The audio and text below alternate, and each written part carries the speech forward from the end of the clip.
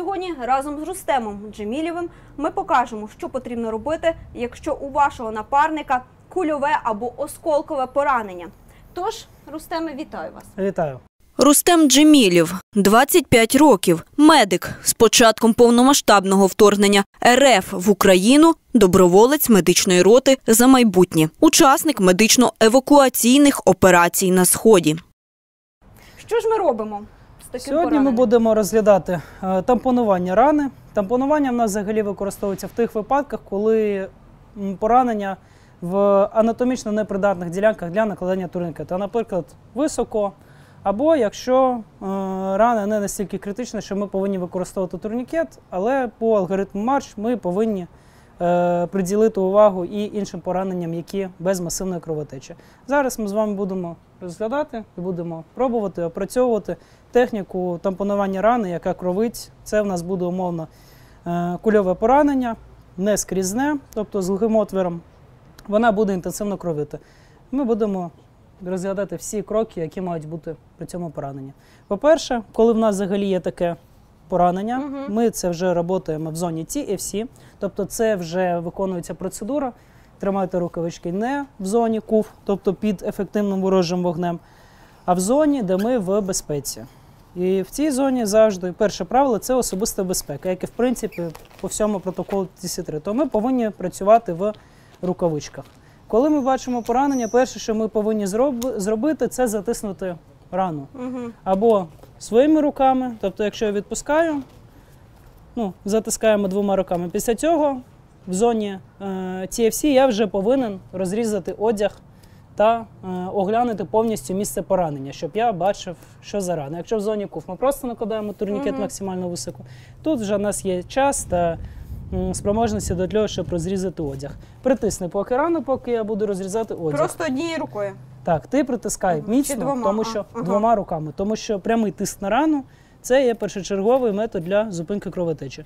Одяг ми розрізаємо завжди тактичними е, атравматичними ножицями, щоб не травмувати пораненого ще більше, і розрізаємо по внутрішній стороні брюк для того, щоб в майбутньому ми ці, цим між самим одягом змогли закрити пораненого. Це робиться ця процедура, я не, роз... не Це знаю, як робиться це вже вдвох. Е, Вдвох або в одного. Зараз ми вдвоє, то будемо працювати вдвох. Тепер нам потрібно відкрити одяг. То ти Мгм. відпускай руку. Я відкриваю одяг, ми бачимо поранення, і я знову затискаю його максимально Мгм. міцно рукою. Тепер кажи, що ми повинні зробити, коли в нас є таке поранення? Я думаю, що напевно запитати, чи він в свідомості, найперше, чи Е, це нам не важливо зараз. Зараз на етапі TFC, Мгм. якщо ми працюємо по букві М. Massive Bleeding, ми, це мені не важливо. Моя задача зупинити кровотечу. Чим ми будемо зупиняти кровотечу? Е, Я думаю, ми, якщо я правильно пам'ятаю, ми говорили про склад аптечки, і там були спеціальні такі. е, Так, гемостатичні бинти або так, звичайний бинти, так. тампонувальний матеріал. Можеш Мгм. подати з його аптечки, яка вже відкрита, Мгм. мені звичайний бинт, який є. Ось. Ми беремо Мгм. бинт.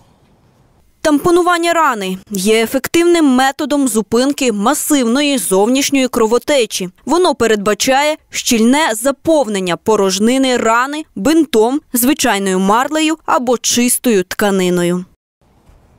Перше, що ми повинні зробити, це завжди оглянути саму рану. Я зараз тримаю, кров не тече, але я зараз, якщо я зараз відпущу, то буде тікти кров. І моє завдання Незважаючи на те, що вона тіче, потрібно. вона буде текти, Мгм. але от зараз я затампоновую те місце. Як ми бачимо, інтенсивність кровотечі вже зменшується. Е, До чого потрібно притискати палець, щоб ну, от, зменшити інтенсивність е, е, крововтрати? зараз- Тому що мені не зрозуміло, наприклад, зі сторони. Ви там щось відчуваєте, Ось. кістку якусь чи Оце самий цікавий момент, і чому це потрібно відпрацьовувати з е, кров'ю, з таким препаратом. Ми в реальних умовах не побачимо, де кровить, Мгм. що кровить, куди притискати, Мгм. тому що у нас все буде в крові. І наше завдання максимально швидко зорієнтуватися лише руками, тобто пальцями, ми нічого там не бачимо, зорієнтуватися де глибоке місце рани, Угу. та тампонувати до кістки. А де кістка, я розумію, в нього йде кістка тут. Угу. Так. Ми зараз затампонували. Що ми далі повинні зробити? Ми маємо накласти ізраїльський бандаж, якщо я неправ... ну, неправильно Так, говорю, але то ефективне чи ні мене. моє тампонування? Як це зрозуміти?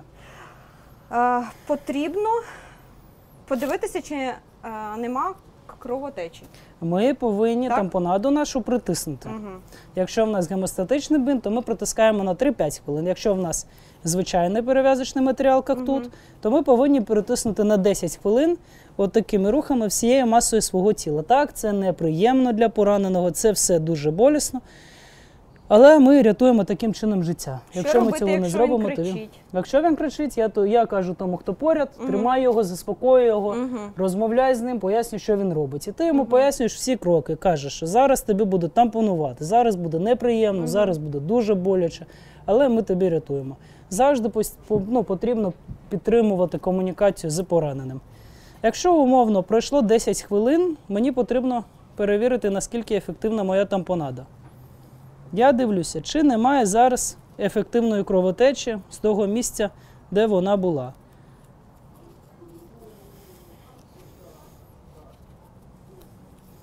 Як ми бачимо, що кровотечі Течі вже нема. немає. Так.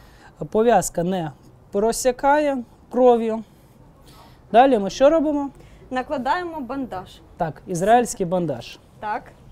Подай мені ізраїльський бандаж, будь ласка. Це Е. ось це. Він вже відкритий. Ага, все зрозуміло. От.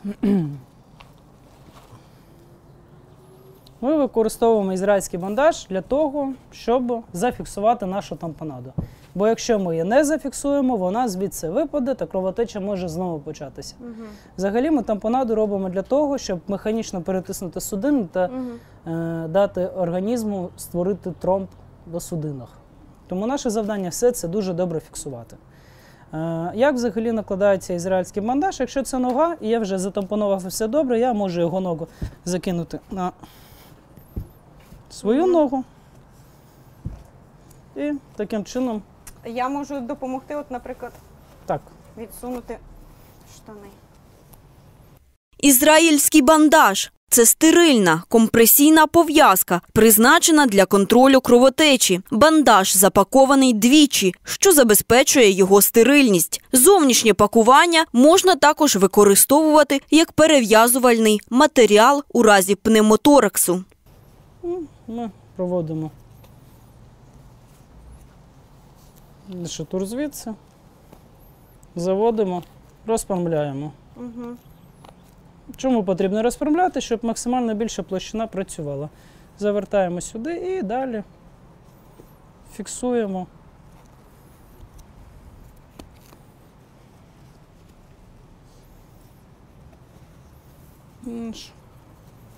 Наш